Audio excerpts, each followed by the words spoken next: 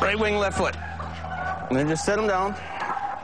Sometimes they kick, but put this toe between these two toes. Yep. This comes down. Hold hard, right? Pull, Yeah. pull his tail back, and, and the, the poop actually comes out here. So we're, we're gonna, I'm gonna actually pinch that off. You'll see here. I gotta put this in my mouth because this is how we're gonna suck the Whoa, semen. whoa, whoa, whoa, whoa, whoa, whoa. What? What's this? This is where I'm collecting the semen into, Why is that in your mouth? so it creates suction to get it into the jar. You're going to suck the semen out of the bird. That's correct. Are you ready?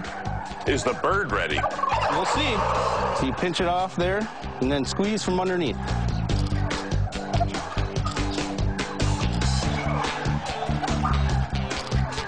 He's done. You're serious? I'm serious.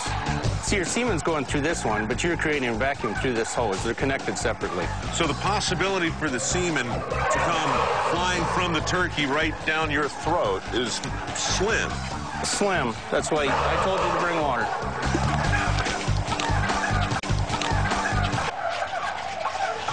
Do it again. Okay. Pull his tail back. Oh, dear. Squeeze his tail, rub his tail.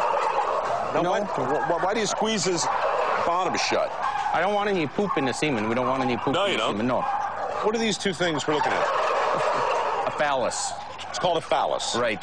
Is that its penis? No, in, in actuality, if, if we were to let them do it naturally, the hen's oviduct will come out and he just basically drops it on her. He just drops his semen. Just drops it. But we're not doing it that way. No. No. No, no, we've got we've got a straw. Right.